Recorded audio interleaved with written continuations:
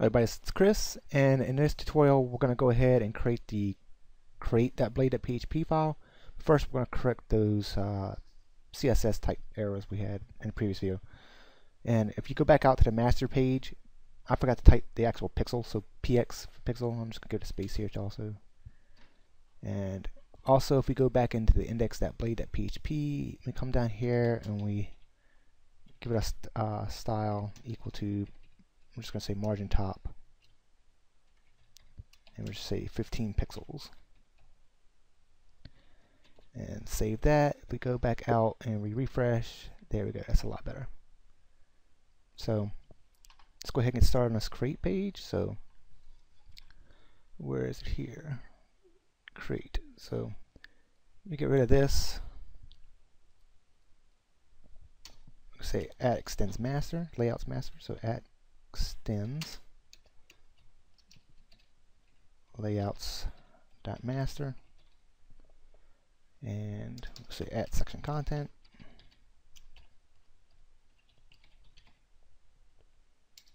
And add stop. Okay we're gonna make this a row so a row. We're gonna make we're gonna give it make it a four column and offset it by 4. So make it 4 columns, offset it by 4, and we're going to give it another margin. So to do that, we'll just say column medium 4. We need to put a dot in front of this thing first. And we're going to offset also, so dot column medium offset and 4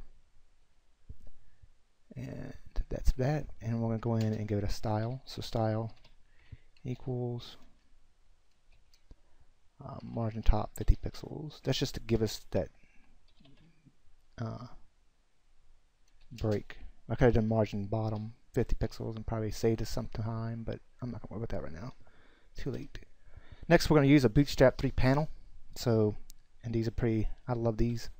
We're going to say panel and, and we're going to say panel info.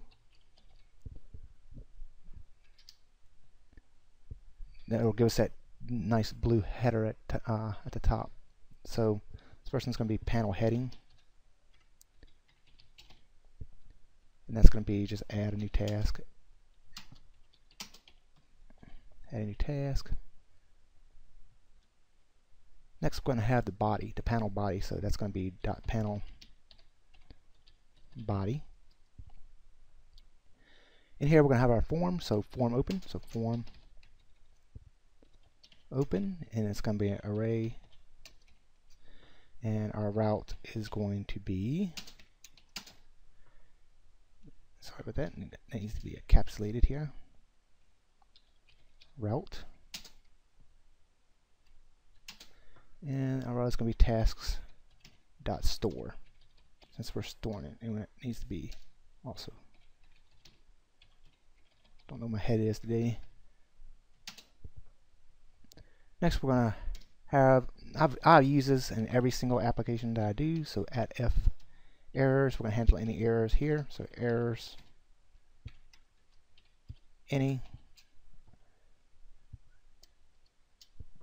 We're just going to create, create a div with the class of alert and alert danger. So it's red,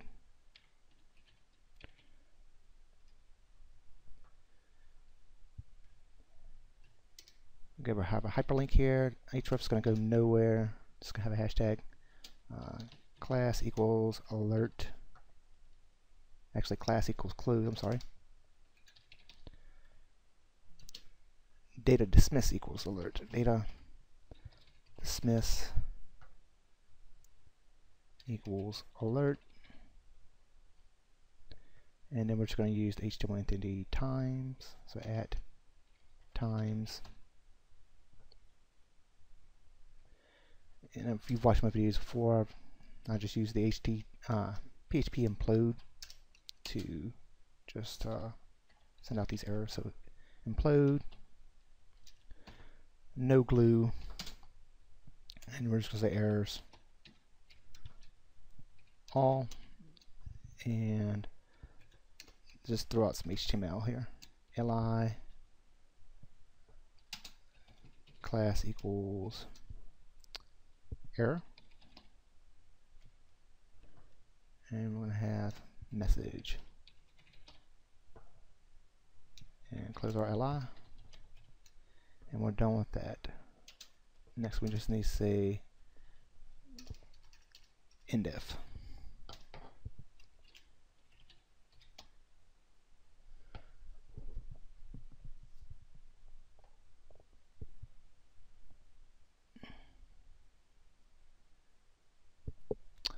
Okay, so we'll create another div called control group. So that dot uh, control group.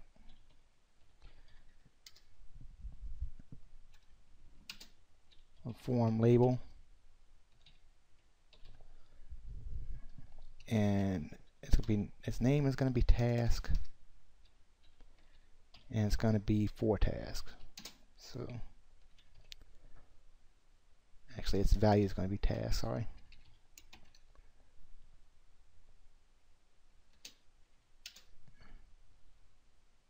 It's going to be four tasks. The label is going to be task. Okay, so next we're going to have the form input. So form text. And this name is going to be task. It's not returning anything. It doesn't have a secondary value. And we're going to have a class, say placeholder.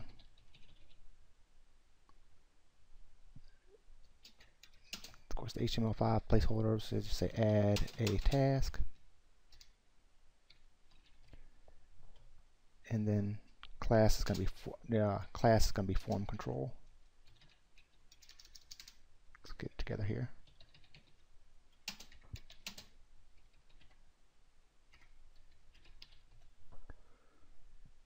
Form control. So after that div here, we're just going to give it a break because I don't, it's not going to do it by itself. And now we just need to submit. So form submit. And we're just going to say add. And then we're going to give it a class itself. So array and class. Shoot. Don't want to do that. Class is button button success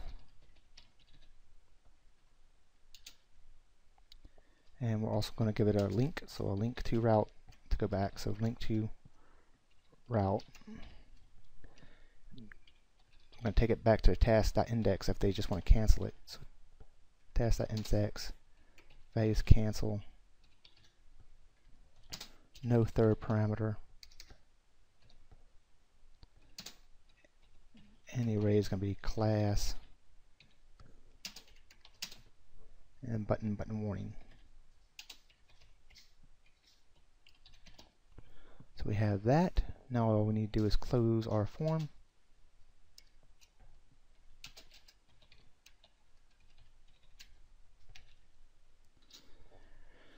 And save that. Go back out here, refresh, and see if we have any errors here. We have an unexpected ne here. So it's going to be on line 9. Let's go down and see what we have on line 9 here. That doesn't look like line 9 to me. Form echo open array route tasks.